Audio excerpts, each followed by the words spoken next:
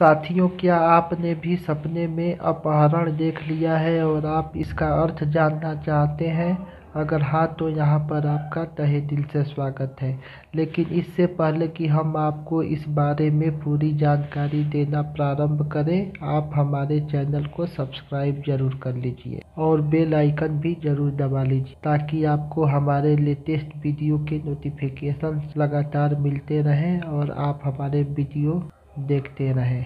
मित्रों, अब बात रही कि सपने में अपहरण देखना कैसा सपना होता है तो यह सपना देखने में भले ही खराब लग सकता है लेकिन इसका अर्थ बहुत ही अच्छा माना गया है। स्वप्न ज्योतिष का कहना है कि सपने में अपहरण देखना लंबी उम्र की निशानी होती है।